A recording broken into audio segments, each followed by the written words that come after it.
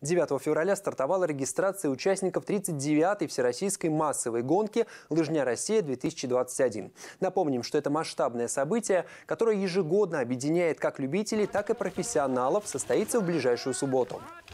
Записываться можно вплоть до пятницы в магазине «Декатлон» в парке Н1 на Октябрьском проспекте, а также непосредственно 13 февраля с 9.30 до 11.45 на месте соревнований. Они снова пройдут на поле рядом с торговым центром.